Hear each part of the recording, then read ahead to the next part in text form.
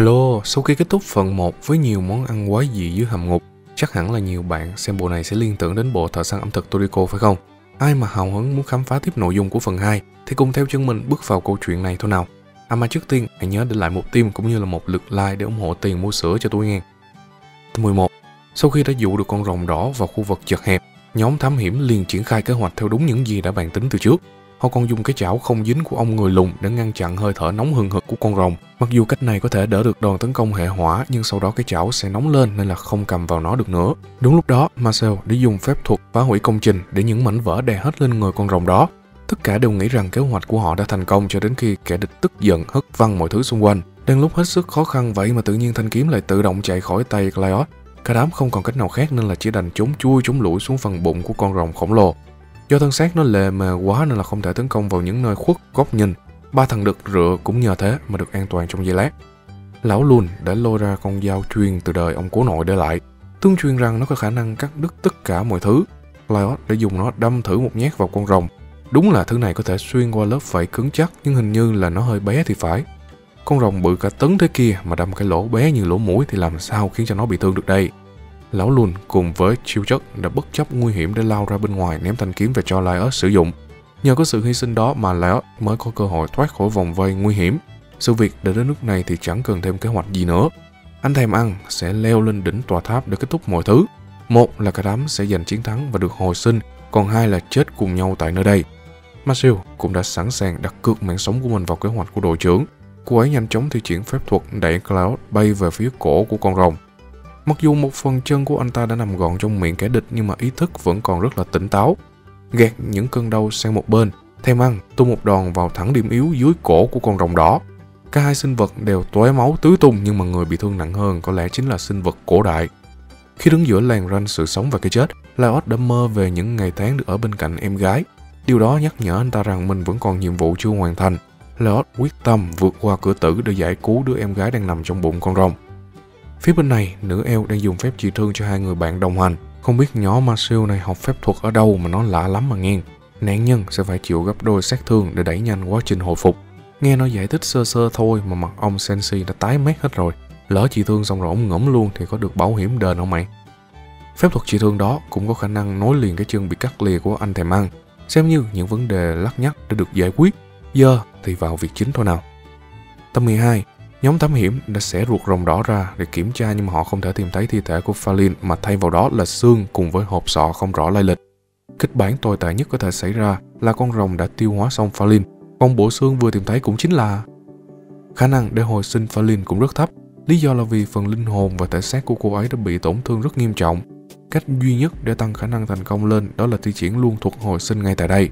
Sẵn dịp tận dụng luôn lượng thịt tươi và máu của con rồng để bổ sung vào, Matthew để giấu mọi người nhưng mà vì tình huống quá cấp bách nên là cô ấy mới chịu tiết lộ bí mật. Thực ra là nữ pháp sư đang nghiên cứu về hát thuật. Theo luật thì đây là điều cấm kỵ nhưng hiện giờ nó không quan trọng. Chỉ cần cứu được Phalin thì cái giá có đắt cỡ nào thì Marcel cũng sẽ chấp nhận đánh đổi. Không bàn luận thêm nữa, cái nhóm liền xuống vô giúp đỡ quá trình chuẩn bị. Ngay khi hoàn tất việc lắp ráp lại các bộ xương cũng như là vẽ ma trận hát thuật thì nữ eo đã cho bắt đầu khoảnh khắc định mệnh. Ai nấy cũng đều nín thở chờ đợi kết quả Mọi người chỉ cảm thấy nhẹ lòng khi chứng kiến cảnh tượng Falin thức tỉnh trở lại. Trong lúc cả đám đang trò chuyện với nhau sau những ngày tháng xa cách thì họ bất chợt nhớ ra rằng nãy giờ không thấy ông Sensi đâu. Leot đã có linh cảm không lành nên đã chạy thật nhanh đến cái xác của con rồng. Tiếc rằng anh ta đã chậm một bước. Lão lùng muốn nấu thịt của ma thú nên đã bắt cái nồi nước sôi gần cái xác của nó. Thật xui là bên trong vẫn còn tàn dư chất gây nổ nên là một vụ nổ lớn đã xảy ra ngay khi mà Sensi mồi đóm lửa gần khu vực nguy hiểm. Tất cả đều đã chuẩn bị tinh thần để chết, nhưng kỳ lạ là chẳng có chuyện gì xảy ra sau đó. Thì ra là Falin đã dùng phép thuật che chắn cho họ khỏi vụ nổ kinh thiên động địa vừa rồi.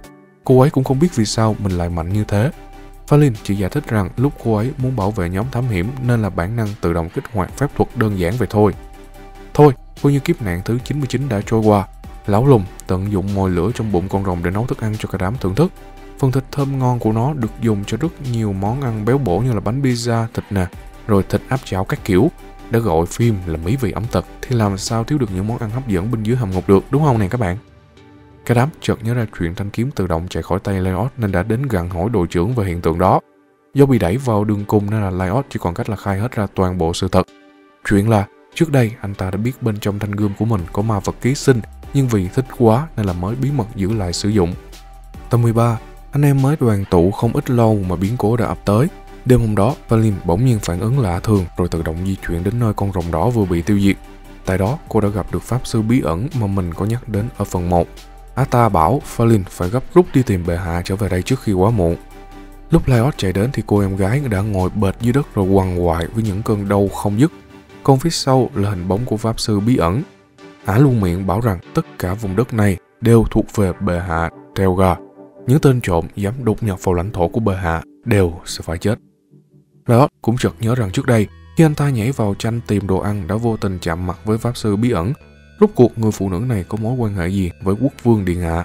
Tại sao ả lại có nhiều sức mạnh đáng sợ đến như vậy? Những câu hỏi trong đầu còn chưa có lời giải đáp mà Lyot đã bị em gái hất văng ra xa. Kèm theo đó là những đòn tấn công triệu hồi quái thú đến từ pháp sư điên rồ. Marcel phải dùng toàn sức lực mới có thể chống đỡ trước kẻ địch. Cô ấy cảm nhận được rằng đây là đối thủ mạnh nhất từ trước đến giờ mà mình phải đối đầu.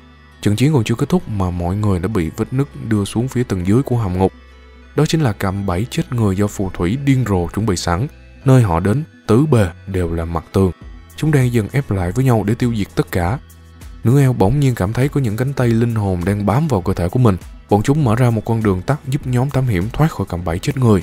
Khi tất cả đi hết con đường tắt thì họ đến được một căn phòng khác. Còn chưa kịp hiểu chuyện gì đã xảy ra thì lũ orc đã ập vào bên trong bắt lấy họ một lần nữa. Ai mà có xem phần 1 đều sẽ biết rằng lão lùn có quen biết khá thân thiết với tộc Orc. Chỉ cần ông ấy nói vài câu thôi là lũ Orc đã hiểu ra nhóm thám hiểm không phải là kẻ thù của họ. Tộc Orc rất cảm ơn vì nhóm thám hiểm đã giúp họ tiêu diệt con rồng đỏ. Để trả ơn thì họ đã chuẩn bị sẵn thuốc men chữa trị vết thương cho cả đám sử dụng. Tôi coi được cả chục tập rồi mà thấy thuốc men trong phim này cứ sao sao á, nhìn chẳng khác nào là nồi cám lợn. Lúc đầu, đội trưởng với nữ pháp sư chỉ bị thương nhẹ thôi mà vừa hớp một muỗng thuốc xong là hôn mê bất tỉnh luôn. Chiêu chất đã hỏi tộc Orc về thông tin của Pháp Sư Điên Rồ. Có lời đồn rằng hắn đã xuất hiện trong hầm ngục rất lâu trước đây. Chỉ cần có quyển sách hắc thuật trong tay thì kẻ đó có thể tiêu diệt bất kỳ sinh vật nào xuất hiện trước mặt. Chính vì quá nguy hiểm nên là từ lâu tộc Orc đã truyền tay nhau lời cảnh báo rằng nhất quyết không được gây sự với Pháp Sư Điên Rồ.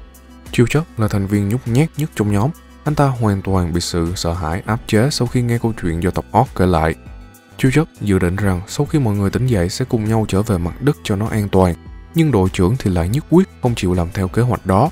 Lyot muốn truy tìm tung tích cô em gái thất lạc nhanh nhất có thể. Tập 14 Nhóm Karu đã hồi sinh trở lại sau khi được nhóm của Lyot giúp đỡ. Bọn họ chỉ nhớ rằng mình bị người cá tấn công bất ngờ rồi sau đó có ai đó để giúp họ thoát khỏi cửa tử. Nhưng Karu và mọi người lại không thể nhớ ra người giúp đỡ mình là ai.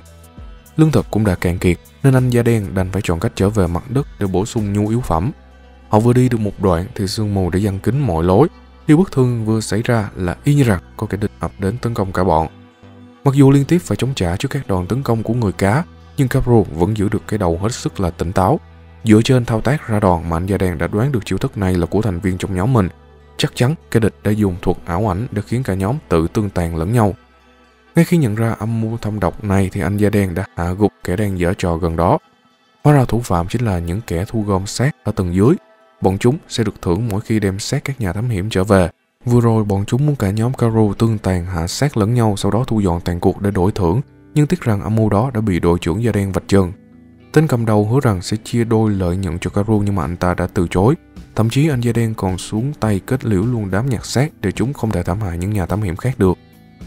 Đi thêm được một đoạn nữa thì Caro đã bị mảng xà biển tấn công từ bên dưới mặt nước. Anh da đen còn chưa kịp chỗ tài tiêu diệt mục tiêu thì con mồi đã rơi vào tay kẻ khác. Tổ đội của Suro chỉ trong thoáng chốc đã làm gỏi con mảng xà biển mà chẳng để lại vết xước nào. Ai mà có xem phần 1 cũng biết rằng mục đích của Suro khi quay lại hầm ngục chính là đi tìm tung tích Falin. Đó là người con gái anh ta yêu nhất trên đời. Tập 15 Hiện giờ nhóm Lyot đã mắc kẹt bên trong hầm ngục. Họ không thể dịch chuyển đến mặt đất giống như cách thông thường được. Thể lực của cả bọn cũng đã xuống sức rất nhiều sau trận tự chiến với rồng đỏ.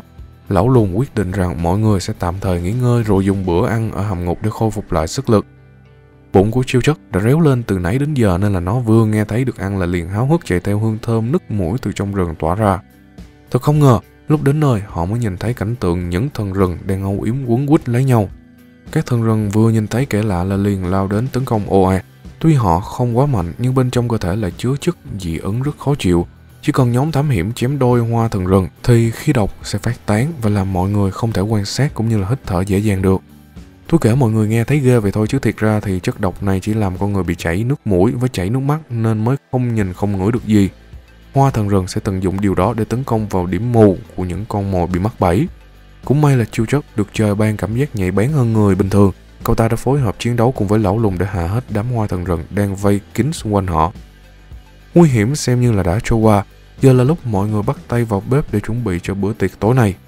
Sensi đã dùng những loại trái cây hoa quả đa dạng ở tầng này để làm ra nhiều món ăn áp chảo dinh dưỡng. Tuy mang tiếng là đồ ăn làm từ ma thú nhưng mà chất lượng lại không thể chê vào đâu được. Ai mà nếm qua thử một lần cũng phải thốt lên rằng Ôi, đây đúng là mỹ vị tuyệt vời của hầm ngục tối. Để tránh những rắc rối trong tương lai, Marshall đã dạy cho đội trưởng những phép thuật cơ bản. Nếu sau này họ gặp nạn thì vẫn sẽ có hai người biết dùng thuật trị thương để chữa trị cho mọi người. Mới học được chút xíu mà đầu óc của Lloyd đã say sẩm quay cuồng cả lên. Không phải thanh niên này lười đâu nhé, mà đó là biểu hiện của triệu chứng say ma lực trong lần đầu sử dụng. Nhìn đội trưởng ối lên ối xuống kiểu này thì chắc không ra ngoài khám phá được đâu nên là ba người kia đành bỏ anh ta lại nghỉ ngơi cho an toàn. Cả ba chỉ vừa mới đi được vài bước đã phải chậm chán với quái thú hai đầu. Matthew sợ hãi đến mức là chân tay lóng cống chẳng thể đọc thần chú nào rõ ràng. Cũng may là lão lùng đã kịp hỗ trợ từ phía sau để giải nguy cho cả đám. Mặc dù con quái hai đầu đã bị hạ nhưng Marcel cũng đã bị nó cắn trúng một nhát. Vết thương này xem vậy chứ không hề bình thường đâu à nha. Chiêu chức vừa cổng nửa eo về đến nhà là cơ thể của cô ấy liền hóa thành đá ngay lập tức. Trong sách vở lại không hề ghi chép về cách hóa giải hiện tượng hóa đá. Đám được rửa chỉ còn cách là chia nhau ra thử nhiều biện pháp chữa trị khác nhau. Chiêu chức thì đi hái thảo dược, đội trưởng thì tiếp tục đọc sách, còn riêng lão lùng thì bắt nguyên cái chảo đem người bạn kia bỏ vào luộc luôn cho nó nhanh. Nãy giờ ba cách tôi đọc đều là những cách làm ngớ ngẩn, vậy mà không hiểu sao nhỏ Ma siêu lại hết bệnh hóa đá được mới hay. Tập 16 Ngày hôm sau, mọi người đã phát hiện ra cái xác con rồng họ đánh bại đã biến mất hoàn toàn. Điều tra kỹ lưỡng một hồi thì họ mới biết được rằng việc này là do kẻ dọn dẹp hầm ngục gây ra. Kẻ dọn dẹp là những sinh vật tí hon dạng nước. Chúng sẽ ăn sạch toàn bộ những chỗ bị hư hỏng trong hầm ngục rồi sau đó tiết ra chất nhầy khôi phục hầm ngục trở về trạng thái ban đầu. Trong lúc đang dùng bữa ở tầng tiếp theo, nhóm Lyot đã tình cờ gặp lại những người quen cũ. Suro trước đây từng là thành viên chung nhóm với Lyot sự kiện Valin bị rồng đỏ ăn thịt đã làm anh ta tổn thương tâm lý rồi dẫn đến việc rời đội. Tuy không còn đồng hành bên nhau nhưng mà họ vẫn là những người bạn thân. Mọi người đã rất sốc khi Lyot kể lại những chuyện mà nhóm anh ta vừa trải qua. Bắt đầu từ việc hạ gục rồng đỏ, rồi đến việc chậm chán với pháp sư điên rồ, kể cả việc hồi sinh Valin cũng được kể lại rõ ràng cho Suro nắm rõ. Rắc rối cũng vì thế mà bắt đầu từ đây. Ngài Samurai vô cùng nổi giận khi nghe được tin Valin được hồi sinh bằng hắc thuật Tội dùng đến cấm thuật là điều không thể chấp nhận được. Dù cho có trở về mặt đất thì người sử dụng cấm thuật cũng sẽ bị giam giữ cho đến hết phần đời còn lại. Tâm 17 Sở dĩ Lyot tin tưởng kể toàn bộ sự thật cho Suro nghe là vì anh ta biết rằng Samurai sẽ không tiết lộ bí mật này cho bất kỳ ai khác. Trong lúc cuộc hội thoại vẫn còn đang rất là gây cấn thì Valin đã xuất hiện, nhưng lần này cô ấy xuất hiện trong một hình dạng rất là quái đản. Phần thân trên là cơ thể con người, nhưng phần thân dưới là hỗn hợp các bộ phận của sinh vật ma thú. Lực chiến có lẽ là điều được cải thiện rõ rệt nhất sau khi biến hình. Cả tốc độ cũng như là sát thương đã được tăng lên đáng kể. Đó là còn chưa nói đến khả năng phòng thủ tuyệt đối. Dù bị tấn công liên hoàn nhưng Falin vẫn có thể cầm cự được dễ dàng. Nếu cứ mãi đứng im thì sẽ có thêm nhiều sinh mạng nữa bị Falin tước đoạt. Caro đã nhanh chân dịch chuyển ra phía sau rồi đâm vào những bộ phận thiết yếu như là tim gan phèo phổi của mục tiêu. Đòn tấn công đã làm kẻ địch quằn quại vì những cơn đau, nhưng kèm theo đó là cơn thịnh nộ khủng khiếp. Falin đã điên cuồng thi chuyển ma thuật tàn phá diện rộng. Hàng loạt thanh cọc đã đâm từ dưới mặt đất lên. Những ai đứng gần khu vực đó đều bị thương nghiêm trọng. Falin đã nhân cơ hội đó để tẩu thoát ra khỏi vòng vây của nhóm thám hiểm. Do các nạn nhân chỉ vừa bị tiêu diệt gần đây nên là Pháp Sư vẫn có thể hồi sinh họ trở lại bình thường, nhưng sự kiện vừa rồi lại càng khiến cho Suro trở nên phẫn nộ. Rõ ràng là hắc thuật hồi sinh đã ảnh hưởng xấu đến cơ thể Falin. Nếu Marcel không mạo hiểm làm điều dại dột đó thì hậu quả đã không nghiêm trọng như ngày hôm nay. Leot vẫn quyết bảo vệ quan điểm của bạn đồng hành của mình cho đến cùng. Bất kỳ ai khi đặt vào trường hợp đó đều sẽ muốn hồi sinh Falin. Nếu sự việc đã biến chuyển xấu đi thì họ cần tìm cách khắc phục thay vì tìm khuyết điểm để chỉ trách lẫn nhau. Có lẽ trận ẩu đả giữa hai người đàn ông đã làm cho Suro được thông não. Anh quyết định rằng sẽ giao lại nhiệm vụ giải cứu Falin cho Lyot lo liệu, con Samurai sẽ cùng những người còn lại trở về mặt đất để báo cáo cho chúa đảo biết những việc xảy ra ở dưới đây. Tập 18 Lần theo vết máu mà Falin để lại trên sàn, nhóm thám hiểm đã xuống được tầng thứ 6 của hầm ngục. Leot từng nghe tên pháp sư điên rồ lẩm bẩm gì đó về Telga. Người này là một vị vua từng tồn tại rất lâu đời trước đây. Telga chính là quốc vương cuối cùng của thành phố vàng vào một thiên niên kỷ trước đây. Khắp nơi trong hầm ngục đều có các tên nhằm ca ngợi ông ta. Khi hầm ngục lần đầu tiên được phát hiện, ông ấy đã xuất hiện trên mặt đất rồi sau đó hóa thành các bụi ngay lập tức. Chắc hẳn là pháp sư điên rồ nghĩ rằng những nhà thám hiểm đến đây là để trộm kho báu và sát hại quốc vương nên hắn mới ra sức ngăn chặn quyết liệt. Mặc dù giả thuyết này rất mơ hồ nhưng mà Lyot vẫn muốn tin vào điều đó. Anh ta dự định rằng sẽ đến gặp và nói chuyện rõ ràng với pháp sư điên rồ một lần để giải quyết hết những mâu thuẫn trong thời gian qua. Khi đi qua một không gian đầy rẫy bóng tối, cả nhóm đã gặp phải hiện tượng kỳ lạ. Cạnh bên họ xuất hiện rất nhiều nhân bản giống nhau, ví dụ như có đến 4 Lyot hoặc 4 lão lùn. Hiện tượng này đều do kẻ biến hình gây ra, chúng sẽ mạo danh chủ thể cho đến khi ăn thịt được họ thì mới thôi. Tuy vậy, nhưng tụ mạo danh này vẫn có điểm yếu, chúng thường phụ thuộc vào ký ức của những người xung quanh để biến hình. Nếu ký ức không rõ ràng thì kẻ mạo danh cũng sẽ rất dễ bị lộ tẩy. Bằng trí thông minh hơn người, đội trưởng đã phát giác được những điểm đáng ngờ của các thành viên rồi từ đó phán đoán chính xác ra ai là kẻ giả mạo. Sau đó, Lyot bắt chước tiếng sủa thật lớn của loài chó để đánh đuổi thú dữ gần đó đi. Trong tự nhiên thường có kẻ săn mồi và kẻ bị săn. Nếu bạn tỏ ra không sợ hãi thì đối phương sẽ sợ rằng mình mới là người đang bị săn. Lyot đã áp dụng lý thuyết này vào thực tế để khiến cho những loài thú xung quanh lo sợ. Thấy đội trưởng đóng vai chó không hợp lắm nên là Marcel đành ra tay giải quyết mọi chuyện. Nếu đã mạnh như vậy thì thôi người ta đấm luôn từ đầu đi. Tự nhiên để thằng Lyot sủa đau cả họng rồi cuối cùng chả được đóng vai anh hùng trọn vẹn. Nguy hiểm đến đây vẫn chưa chấm dứt. Khi họ không để ý thì Marcel đã bị kẻ nào đó khống chế từ phía sau. Tập 19. Những người đang khống chế Marcel từng là thành viên trong nhóm Suro. Cô ấy đến đây là muốn nhờ vả nữ eo hãy hóa giải lời nguyền đang được ếm lên cơ thể mình. Thấy bé mèo này có vẻ đói bụng nên là lão lùng đã chế biến sẵn một món súp nấm cho cô ấy bồi bổ. Mới đầu nhỏ này sĩ diện nên là chê, nhưng vừa ngửi được hương thơm ngào ngạt của đồ ăn là miệng bé mèo liền đớp lấy đớp để. Do từ bé không được ai dạy dỗ đàng hoàng nên là cái nết ăn của nhỏ này nó có phần hơi mất lịch sự. Lão lùng định dạy dỗ thế hệ trẻ một bài học thì nhỏ mèo lại nổi điên lên đánh trả lại. Cơn giận đó đã vô tình làm cho bùa ếm trên cổ phát huy tác dụng. Nó triệu hồi ra hình nhân với con dao lầm lầm trên tay, trông rất là nguy hiểm. senji đang rất tức giận vì đồ ăn của mình bị đổ xuống đất. Giờ mà thánh thần thiên địa có xuất hiện thì ông ta cũng chả ngán ngẩm. Lão lùng với chiếc chảo rán trong tay đã dễ dàng đỡ được đường dao sắc lẻm của hình nhân bùa ếm. Đội trưởng ở gần cũng nhanh chân phối hợp thiêu rụi đi kẻ địch hoàn toàn. ACB thấy nhóm này có vẻ khá tốt nên là cô ấy không còn phòng thủ kỹ càng như trước. Bé mèo kể lại rằng hôm trước thấy Marcel sử dụng hắc thuật để hồi sinh nên là cô ấy nghĩ rằng nữ eo có thể sử dụng hắc thuật để phá bỏ bùa ếm trên người cho mình. Chuyện này không hề đơn giản chút nào. Hãy tưởng tượng cơ thể con người giống như một quả trứng, phần vỏ là cơ thể, phần lòng trắng, lòng đỏ là linh hồn. Khi linh hồn hòa quyện với nhau thì sẽ không thể tách ra được nữa. Nó cũng giống như việc linh hồn của Asobi kết hợp với linh hồn mèo thì sẽ không thể dễ dàng tách ra được. Trong lúc đang mãi mê ngủ say, Marcel đã vô tình bị kéo vào cơn ác mộng triền miên. Clyde chỉ còn cách là xâm nhập vào bên trong giấc mộng để gọi người bạn đồng hành của mình tỉnh dậy. Nơi mà nữ eo bị mắc kẹt là một không gian được bao trùm bởi bóng tối. Cô ấy luôn phải bỏ chạy khỏi sinh vật đang bám đuổi phía sau mình. Sự sợ hãi càng lớn thì sức mạnh của ác mộng cũng sẽ tăng trưởng theo cấp số nhân. Clyde đã nhận ra rằng thứ làm Marcel lo sợ không phải là cái địch, mà là cô ấy sợ làm cho những người xung quanh mình biến mất. Chỉ cần hiểu được vấn đề này thì thứ sức mạnh thật sự bên trong nữ eo sẽ được giải phóng hoàn toàn. Luôn sức mạnh đó dư sức đẩy lùi cơn ác mộng đi mất. Nỗ lực của cả hai đã giúp họ thoát khỏi cơn ác mộng triền miên. Bên dưới gối của Marcel có vài con sò ác mộng. Chúng thường ký sinh vào gối rồi hút lấy sự sợ hãi của bất kỳ ai nằm ngủ trên chiếc gối. Đây đúng là một loài sinh vật đáng sợ nhưng dưới hầm ngục tối tăm thì làm gì có sự lựa chọn nào khác. Lão lùng liền sơ chế con sò rồi đem lên bếp làm món sò hấp xả cho cả đám cùng thưởng thức. Tập 20 trên đường di chuyển, mọi người đã phải chậm chán với Golem băng giá. Do vừa gia nhập không được bấy lâu nên đây sẽ là cơ hội cho Asabi thể hiện bản lĩnh. Bình thường thấy nhỏ này nó quậy phá vậy thôi chứ thân thủ nhanh dữ dội à nghe. Thân hình, y ạch của con quái vật cũng chẳng thể nào bắt kịp được tốc độ di chuyển của Asabi. Bé mèo dễ dàng luồn lách qua các kẽ hở rồi sau đó tấn công vào lỗi năng lượng bên trong con golem là đã có thể giải quyết nó gọn gàng. Trận đánh vừa rồi đã làm cho mọi người ướt hết cả người. Khu vực họ đang ở lại rất lạnh nên là Marcel đã dùng phép thuật tạo nên kết ấn làm ấm cho mọi người. Đúng là đi khám phá kiểu này sướng hết chỗ nói. Vừa được xông hơi miễn phí lại vừa có đồ ăn ngon lành do lão lùng chế biến cho nữa. Nhờ có giây phút quay quần bên nhau mà cả nhóm đã thân thiết với thành viên mới hơn rất nhiều. Mặc dù tình cảm đã được cải thiện nhưng ACB vẫn rất sợ ăn những món làm từ ma thú Điều này cũng là điều hiển nhiên ở thế giới này. Từ trước đến nay, các nhà thám hiểm luôn chuẩn bị lương thực trước khi khởi hành. Chỉ riêng có nhóm của thằng Clyde nghèo quá nên là tụi nó làm liều ăn bậy, ăn bạ vậy thôi. Vì quá tức giận nên Asabi đã bỏ đi nơi khác kiếm ăn.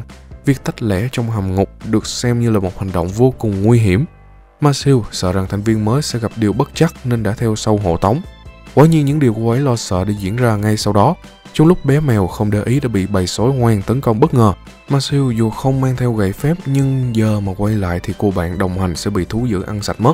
Bằng tất cả sức mạnh, nữ eo đã cố gắng thi triển thuật chói sáng để hạ gục con sói hung dữ. Trở lại lều trại, lần này Asabi không còn kén cá chọn canh nữa. Cô ấy cũng không ngờ rằng đồ được làm từ những nguyên liệu trong hầm ngục lại có thể ngon đến vậy. Sống như vậy mới gọi là mỹ vị hầm ngục được chứ. Ai chà, cái đùi chó này ta nói nó ngon số dách luôn. Tập 21 Ngay khi trở về mặt đất Masuro đã trông thấy tàu yêu tinh phương Đông đậu gần đó. Họ được gọi là biệt đội Hoàng Yến. Cứ mỗi khi độ nguy hiểm của hầm ngục tăng cao vượt mức quy định thì biệt đội Hoàng Yến sẽ xuất hiện giải quyết chúng. Caro, không hề muốn điều đó xảy ra. Trước đây quê hương cậu từng là nơi rất phát triển nhờ có hầm ngục. Kể từ lúc biệt đội Hoàng Yến kéo đến thì vùng đất màu mỡ đã trở thành vùng đất chết.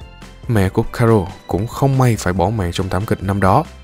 Anh da đen đã bất chấp luật lệ để xen ngang vào cuộc họp giữa đảo chủ và các thống lĩnh yêu tinh. Caro kể lại việc nhóm của họ vừa nhìn thấy sinh vật nửa người nửa ma thú trong hầm ngục. Sinh vật này được các yêu tinh đặt cho cái tên là Chimera. Thật không ngờ, thông tin đó càng khiến cho tình hình chuyển biến tệ đi.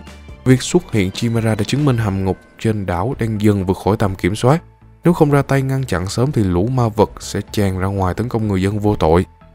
Đảo chủ dù không muốn người ngoài can thiệp vào chuyện riêng, nhưng mà ông ấy đâu có còn sự lựa chọn nào khác. Nếu giờ từ chối những giúp đỡ của biệt đội Hoàng Yến thì chưa biết hậu họa sẽ khôn lường đến mức nào. Capru đã nuôi hy vọng rằng sẽ tìm được một chủ nhân tốt để phò tá. Anh ấy muốn người chủ nhân này sẽ có thể trở thành chùm cuối của tầng hàm ngục. Điều đó sẽ làm cho các ma vật không thể tràn ra bên ngoài tấn công người dân, nhưng tiếc rằng những người mà Capru gặp đều là cặn bã. Không có ai đủ tố chức để trở thành một người lãnh đạo hàm ngục chân chính. Quay lại vấn đề hiện tại, Karu đưa ra sáng kiến rằng hãy phong ấn hầm ngục thay vì phải phái quân đi chinh phạt vào bên trong. Bên cạnh đó, anh da đen sẽ liên lạc sơ tán hết những nhà thám hiểm ở tầng 1, rồi sau đó là sơ tán luôn những người bị mắc kẹt ở những tầng sâu hơn. Phía bên này, nhóm Lyot không hề biết chuyện gì đang xảy ra bên trên mặt đất. Họ vẫn còn đang thưởng thức mấy món ăn độc lạ Bình Dương do lão lùng tự tay chế biến. Nhưng dịp mọi người quay quần bên nhau nên là đội trưởng cũng kể cho họ biết về một sự việc lạ thường diễn ra gần đây. Cụ thể là Laios thường xuyên nhìn thấy mấy oan hồn lãng vãng xung quanh. Có vẻ như những thành viên khác không hề nhìn thấy oan hồn giống như anh. Hãy nhớ lại lần mọi người được cứu bên trong cạm bẫy của phù thủy điên rồ. Những cánh tay oan hồn đã từng giúp đỡ kéo họ ra khỏi nơi nguy hiểm đó. Oan hồn đã nói với Laios rằng nó muốn dắt mọi người đến gặp một người. Do họ cũng không biết phải đi tiếp đến đâu nên là thôi đành chấp nhận lời đề nghị của oan hồn. Vừa mở mắt ra là nhóm thám hiểm đã đến được thành phố vàng. Người dân nơi đây liền chạy đến đưa họ đi gặp người cực kỳ quan trọng. Trong lúc chủ nhân chưa trở về kịp, người dân trong thành phố đã dẫn những vị khách lạ đến tham quan nông trại và khu vực chăn nuôi của họ. Ở ngoài kia thì thám hiểm đánh ma vật, nhưng trong này người dân lại nuôi ma vật để vắt sữa rồi làm nhiều công việc khác nhau. Kể từ khi cập bến thành phố vàng, tâm trí Asabi dường như đã bị ảnh hưởng. Thường ngày cô nàng này đánh đá nóng tính dữ lắm mà giờ tự nhiên hiền khô nghe lời mà siêu giả màng. Có lẽ vì mang một nửa dòng máu ma vật nên tính cách cô ấy đã trở nên dịu hiền hơn trước. Để đến lúc tới gặp người quan trọng, anh ta chính là Yat và cũng là cháu trai của quốc vương Delga. Người dân đã chuẩn bị sẵn một bữa tiệc được nấu từ thịt Minotaur cho các vị khách thưởng thức. Riêng về phần Yat, anh ta không ăn bởi vì vị giác của Yat đã bị mai mòn sau hàng thập kỷ chôn chân tại đây. Tất cả đều do tên pháp sư điên rồ gây ra. Hắn đã ếm lời nguyền bất tử lên cả làng khiến cho họ không thể cảm thấy cơn đói được nữa. Mà đã không đói thì tất nhiên là ăn cũng chẳng thấy ngon miệng. Nhiều người đã thử tìm cách thoát khỏi đây nhưng không thành công. Phần thân xác tuy đã mục rửa nhưng linh hồn thì vẫn mắc kẹt bên trong hầm ngục. Dần dần rồi họ trở thành những oan hồn lang thang khắp nơi. Chính những oan hồn đó đã dẫn lối cho nhóm thám hiểm đến đây gặp người quan trọng. Lời tiên tri cả rằng người cầm thanh kiếm có đôi cánh bên cạnh sẽ đánh bại được pháp sư điên rồ. Nghe sơ qua là biết thanh kiếm này y chang thứ mà Lyot đang cầm rồi đó. Tập 22 Nhớ về thời điểm trong quá khứ, khi đó Yad vẫn còn trẻ, quốc vương đã nhận Taylor về làm cận vệ. Ông ấy khuyến khích thuộc hạ của mình nên học thêm phép thuật để bảo vệ vương quốc nhưng cũng chính vì điều đó đã khiến cho mọi thứ dần trở nên tồi tệ đi. Khó khăn lắm, Delga mới trốn ra ngoài để cầu cứu được.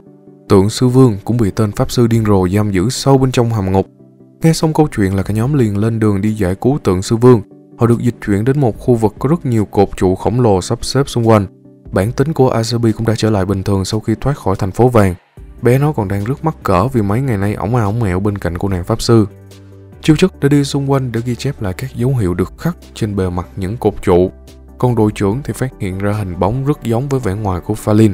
Điều này vẫn chưa thể chắc chắn 100% được bởi vì ma thuật Griffin cũng có hình dạng tương tự. Vừa nhắc Tào Tháo là Tào Tháo lại đến ngay, từ trên cao bất chợt xuất hiện một con Griffin lao đến tấn công họ. Lão lùng sợ quá nên đã xách dép chạy trước, tiếc rằng sinh vật này lại bị thu hút bởi những con mồi bỏ chạy quay lưng về phía nó. Đội trưởng cùng với nữ eo còn chưa kịp ứng cứu thì ông đã bị con quái vật tha đi mất. Marcel chợt nhớ ra rằng mình có thể triệu hồi ra sinh vật để truy tìm dấu vết. Thế là các bạn đành hy sinh một đống đồ ăn để cho nữ pháp sư mày mò gì đó. Phải mất khá nhiều thời gian thì thuộc triệu hồi mới hoàn tất, nhưng nhìn tụi sinh vật này chả ngầu lòi thế nào cả. Nhìn tụi nó cứ y chang là đám thú bông Angry Bird đang rao bán ngoài chợ. Mỗi lần điều khiển sinh vật triệu hồi là nhỏ Marcel phải làm động tác y chang nó. Coi nó quạt tay đi kìa, ta nói Q hết sức. Xem hết phim này rồi mà tôi chỉ biết kết mỗi Marcel thôi đó nha. Để cải tiến tốc độ di chuyển, đội trưởng đã nắn con sinh vật triệu hồi thành hình dạng thích hợp hơn. Cách làm này rất hiệu quả nhưng nó vẫn bị con Griffin phát hiện và tiêu diệt gọn gàng trong một nốt nhạc. Nữ pháp sư đã vận dụng hết trí thông minh để nặng ra một hình dạng mà tôi cũng không rõ là con gì nữa. Nhưng đúng thiệt là nó bay nhanh nhất trong những con thí nghiệm từ nãy đến giờ. Tốc độ phóng của nó tự như là một mũi lao hướng thẳng về phía con quái vật. Cloud đã chờ sẵn ở bên dưới để tung đòn kết hợp hạ gục con Griffin. Thắng lợi này phải nhắc đến sự đóng góp lớn lao của sinh vật mà Marcel triệu hồi. Nữ pháp sư còn định đặt tên tưởng nhớ cho nó là cá bầu trời thì quay sang bên này đã thấy bé nó bị đội trưởng bầm ra làm nhiều khúc. Phần nào dài thì nấu canh, còn phần ngắn thì đem chiên giòn. Có lý do để Sensi hốt hoảng mỗi lần đụng độ với Griffin. Nhớ về câu chuyện từng xảy ra vào nhiều năm về trước khi đó Lão Lùng là một thợ khai thác mỏ trong một nhóm nhỏ. Tập 23 Nhóm thợ mỏ đã vô tình phát hiện được thành phố đầy vàng nhưng họ lại không thể nào thoát ra khỏi được nơi đây. Thức ăn thì cứ ngày một vơi đi nên là cả nhóm bắt buộc phải đi săn ma vật để bổ sung nhu yếu phẩm. Quái càng hung dữ thì số lượng thành viên tử trận cũng dần tăng theo. Cho đến một ngày nọ, chỉ còn Sensi và hai người khác may mắn sống sót. Do là người nhỏ tuổi nhất nên lúc nào Sensi cũng được đàn anh nhường thức ăn cho. Lão lùn cũng không cần tham gia vào các hoạt động săn bắt ma vật nguy hiểm. Cơn đói đã dần làm con người lộ rõ bản chất xấu xa bên trong trái tim họ. Sensi đã tình cờ nghe thấy hai người đàn anh cãi nhau về việc phân chia phần ăn. Họ cảm thấy không công bằng vì Sensi chỉ ngồi chơi thôi cũng có đồ ăn ngon lành. Cuộc cãi vã sau đó đã kết thúc, nhưng chỉ còn một người bước vào bên trong phòng ẩn nấp. Người đàn anh nói rằng họ bị Griffin tấn công và chỉ còn mình may mắn trở về đây.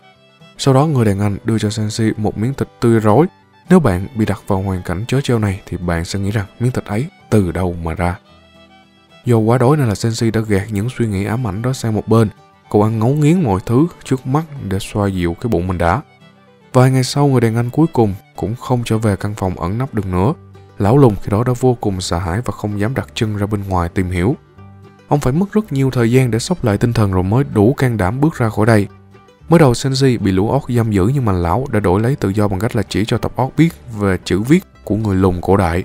Hai bên vui vẻ, chia sẻ, hiểu biết cho nhau rồi sau đó đường ai nấy đi. Nhờ cách sống khôn ngoan ấy mà Sensi đã may mắn nhìn thấy ánh mặt trời một lần nữa. Tuy đã thoát nạn nhưng ám ảnh năm đó vẫn hằn sâu trong tâm trí của ông.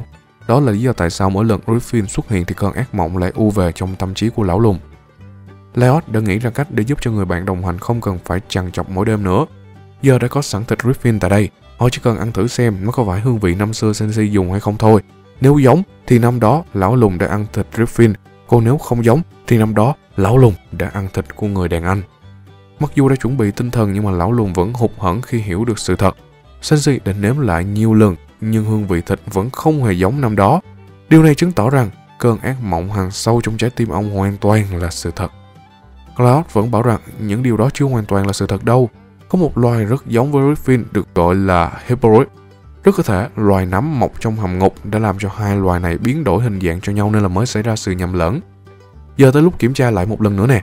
Đội trưởng đã dùng loại nấm quái dị để biến đổi thịt Griffin trở thành hyperoid Sau khi đã chế biến xong loại thịt mới thì để cho ông Sensi nếm thử thêm một lần nữa.